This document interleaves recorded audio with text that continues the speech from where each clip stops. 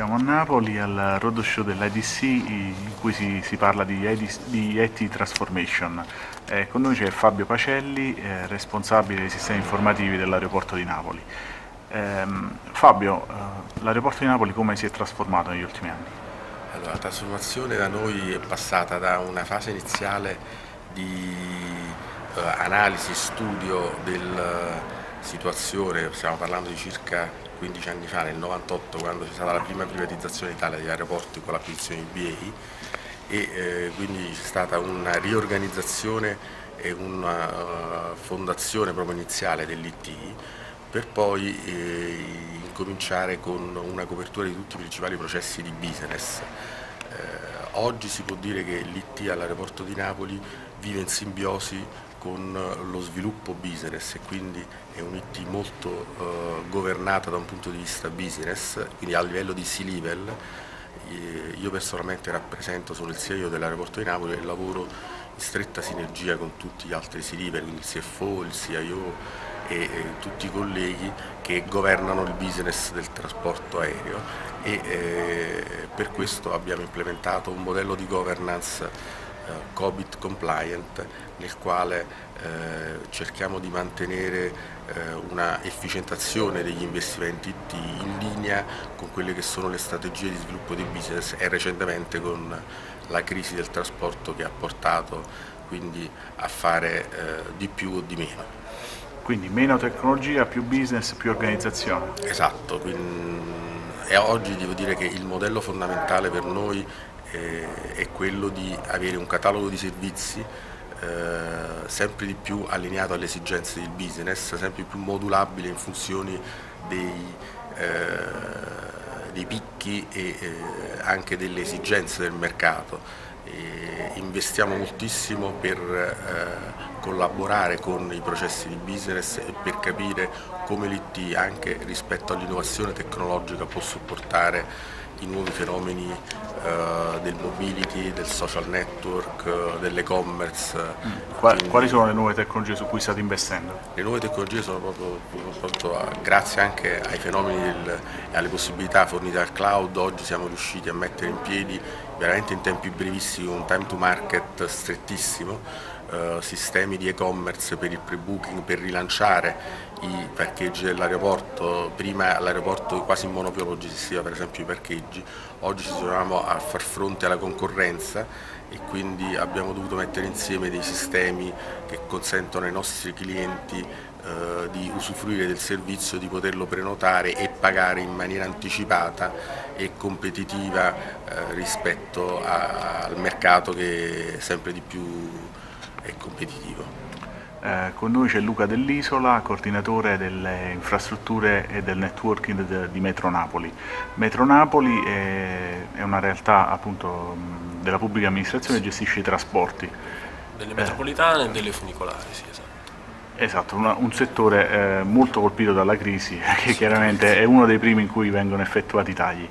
Eh, in questo caso come si trasforma l'IT? Come una, un cambiamento del data center può portare efficienza e risparmio? Noi eh, come Metro Napoli abbiamo sempre avuto una struttura IT abbastanza piccola e questa cosa diciamo, ci ha aiutato poi a superare la crisi che tuttora c'è ancora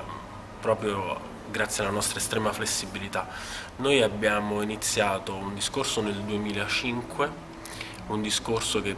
come molte altre realtà della pubblica amministrazione partiva da una soluzione con isole completamente scollegate tra di loro. Eh, noi siamo molto diffusi sul territorio avendo officine, depositi e centri di, di direzione sparsi in tutta la città di Napoli. Quindi abbiamo iniziato con una, un lavoro di creazione dell'infrastruttura, con un lavoro di centralizzazione di, di, tutti i servizi, che è stato un lavoro che poi si è rivelato utile perché eh, avendo creato l'infrastruttura tra il 2005 e il 2009 basandoci su tecnologia in fibra ottica eh, abbiamo interconnesso tutto eh, abbastanza velocemente e su questa base di infrastruttura abbiamo calato poi un po' alla volta tutti i servizi dal VoIP eh, ai servizi diciamo, di applicazioni centralizzate e adesso ehm, da un paio d'anni a questa parte abbiamo iniziato il discorso della virtualizzazione del data center eh, riportando eh, gran parte di quelle che erano le nostre tecnologie che si trovavano su server di vario tipo, alcuni anche abbastanza obsoleti, su un'infrastruttura basata su VMware eh, allineata con quelli che sono gli standard de facto del momento. Utilizzate il cloud? Il cloud non lo stiamo ancora utilizzando, ne abbiamo parlato in azienda, eh, soprattutto per quello che riguarda il ritorno di alcuni servizi che eh, tra il 2007 e il 2008 erano stati riportati in azienda, quindi posta elettronica, sito internet, eh, a riportarli diciamo, all'esterno, quindi fare un po' un discorso esterno, un, discor un discorso diverso. Eh, siamo partiti dal, eh, dall'outsourcing, abbiamo riportato in sede una serie di servizi anche meno critici e adesso, come molte aziende stanno facendo, eh, ci rendiamo conto che una parte di questi servizi che non sono mission critical possono essere riportati all'esterno e quindi stiamo valutando il rapporto costo-benefici di queste soluzioni. Eh, hai parlato di una struttura piccola, eh, questo perché mh, delegate molto all'esterno, utilizzate molto l'outsourcing? Eh, soprattutto per la parte di sviluppo degli applicativi, poi la centralizzazione eh, ci rende diciamo, abbastanza semplice gestire l'ordinario con un numero di risorse abbastanza limitato. Quindi diciamo che per tutto quello che riguarda la gestione della normale manutenzione dell'infrastruttura di networking abbiamo soltanto due persone, anche se poi siamo eh, in parte eh, cor, ehm, diciamo, ci coordiniamo con altre strutture che sono le strutture di telecomunicazione e telecomando che si occupano più della parte eh, relativamente al trasporto, trasporto eh, che hanno diciamo, un numero di risorse più elevato e che ci aiutano diciamo, mm. per quelli che sono i problemi che possono nascere sui servizi che abbiamo sulle linee. Senti Luca, sviluppi futuri, cosa avete in cantiere? Eh, diciamo che da un punto di vista di, di, di progetti abbiamo parecchie cose diciamo, che bollono in pentola, ma come hai detto tu proprio all'inizio di questa intervista ci troviamo in un periodo abbastanza difficile economicamente e quindi diciamo che gran parte delle risorse adesso saranno utilizzate